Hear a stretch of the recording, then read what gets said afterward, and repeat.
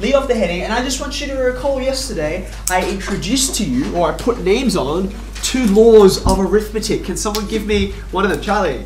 Commutative and associative. Cool, you can give me both, that's alright. The commutative law and the associative law, bit of a mouthful. Okay. Now, in simple, simple terms, what did they mean? What does it mean if something, if an operation is commutative?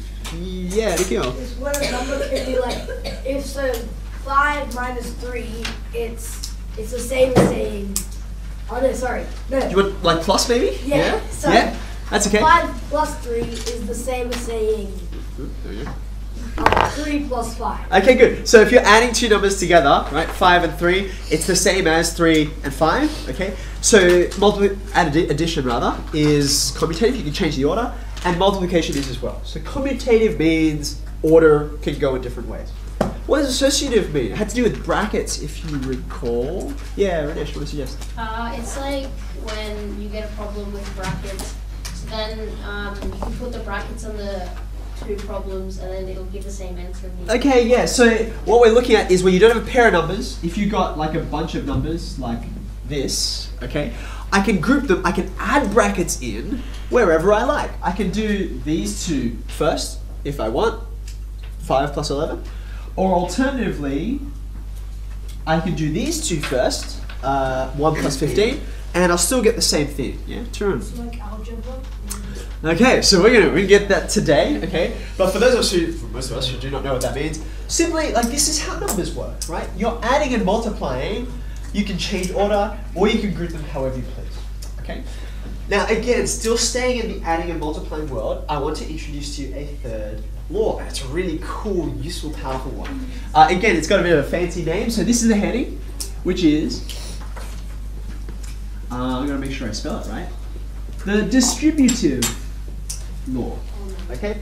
So commutative means that the numbers can commute, they can rearrange and swap places.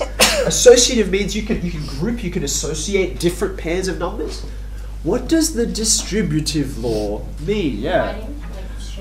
Dividing, like sharing. Okay, so it does kind of have to do with sharing, sort of. Anyone want to have another stab at it? It would be easier if I give you an example. Distributing. Yeah, it has to do with, and this is where I took your word of sharing, right? It's when you've got an operation and you sort of want to, well, distribute it to different numbers. Okay, so here's an example, right? And we'll do a few of these. Okay. So if I'm distributing, say, oh, okay, I want to say um, 17 times 12. Okay, now I don't know my 17 times tables or my 12 times tables particularly well, so this is going to be a bit tricky for me. I suppose I could set this out like 17 times 12 and do, do the 2 and then do the 10, etc. That would work. We're all capable of doing that. But I'm going to take advantage of something here, which is to say that 12 is 10 plus 2. 12 is 10 plus 2. So I'm going to rewrite this like so. Okay. So I've introduced, I've sort of like broken apart this number, okay? Now, if you've done this, then something really useful here is you're saying 17 of these, and you're also saying 17 of these. That 17 times, it distributes to all the numbers inside there, right? So if you have some, um, some colors here, that multiplying by 17 is going to multiply by 10, and it's also going to multiply by 2. Okay? So that multiplica- multiplication by 17, it, dis- it gets distributed out to everyone in there. Okay? Now the reason why this is useful, why do you think I chose 10 and 2? Could have chosen 3 and 9, or 4 and 8, or 5 and 7. Why 10 and 2? Yeah, Because 10 and 2 is like. Do you want to do you want to tag someone else? Yeah. So, Fatima, can you help me out? They're even numbers. Okay, number one, they're even, but they're special even numbers. Like I could do, I could have done four and eight, which are also even, but these are even more special than them. I really like multiplying by ten. Why? Yeah, Rhea. Easy. Yeah, multiplying by ten is pretty much the easiest multiplication there is, right?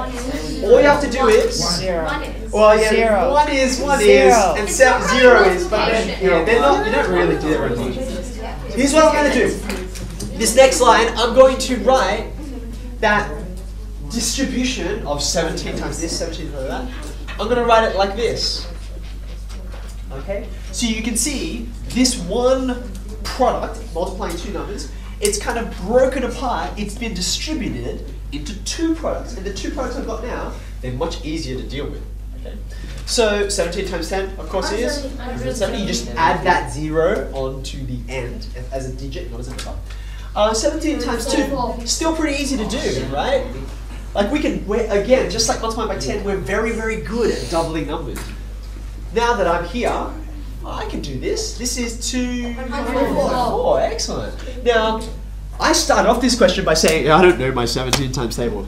Uh, 17, 34, 51, 68, and then I'm like, ah, this is too hard. Too much effort, right? But here, using this idea of, look, that multiplication can distribute to all the rest of them, we broke apart this question into something really, really easy. Okay? Let me give you another example. Let's do, uh, let's do this.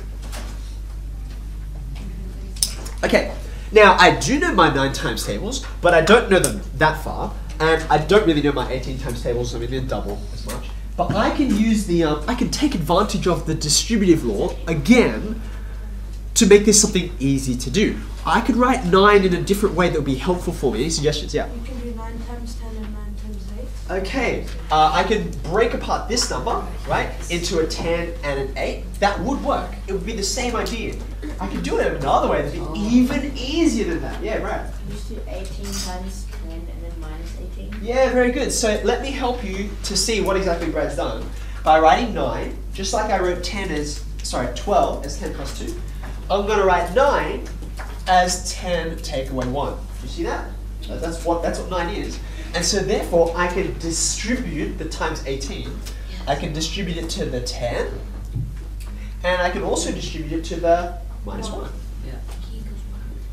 You see, you see what I've done there? Okay. So it's sort of again split apart, and again, if you've got another color there, this helps you see.